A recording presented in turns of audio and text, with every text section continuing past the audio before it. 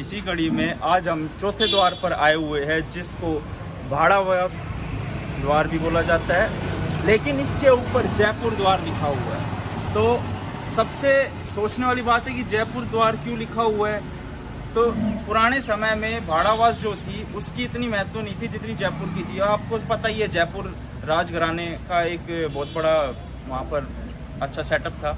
तो इसलिए इसका नाम जयपुर गेट रखा गया। लिखा भी हुआ है ऊपर जयपुर गेट इसकी कलाकृतियों को देखिए आप, इसमें ये पूरा संजो के रखा हुआ है अभी तक। लेकिन इसके बारे में कुछ कह नहीं सकते। देखिए, ऊपर पीपल का पेड़ भी उग रहा है। तो मैं प्रशासन से दरख्वास्त करूँगा कि इसके ऊपर भी थोड़ा ध्यान दिया जाए। अब ये जो चौथा द्वार है, जिसको हम जयपुर भी बोलते हैं और भाड़ावास आज के समय में बोलते हैं। भाड़ावास इसलिए बोला जाता है क्योंकि समय के साथ साथ जब मुगलों का शासन का अंत हुआ फिर अंग्रेज़ आए। अंग्रेज़ों ने भाड़ावास जो गाँव है, वहाँ पर लॉजिस्टिक और कन्वर्टमेंट बनाई थी।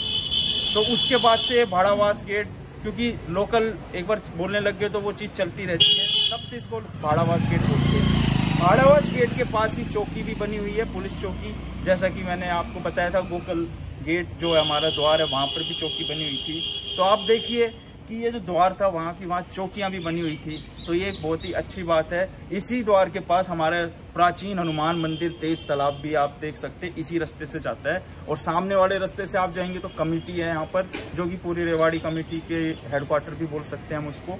और सामने अंदर अगर जाएँगे तो मुख्य जो बाज़ार है, जिसको हम मुख्य बाज़ार रेवाड़ी का, पंजाबी मार्केट, जीवली बाज़ार काठ मंडी गुड़ बाज़ार और नमक की जो भी मंडी वहाँ पर अंदर आप देख सकते हैं। रेवाड़ी का जो अंदर की जो भी बाज़ार है, वो इन चार दरवाजों ने कवर कर रखा है अच्छी से।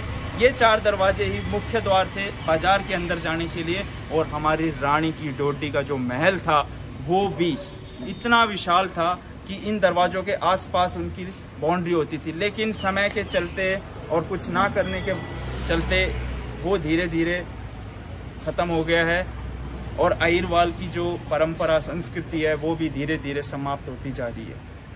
लोगों को जागरूक होने की बहुत ज़्यादा आवश्यकता है अपने अहिरवाल कल्चर के बारे में, अपने रेवाड़ी शहर के बारे में पता होना चाहिए, ऐतिहासिक धरोहरों को संजो के रखना चाहिए।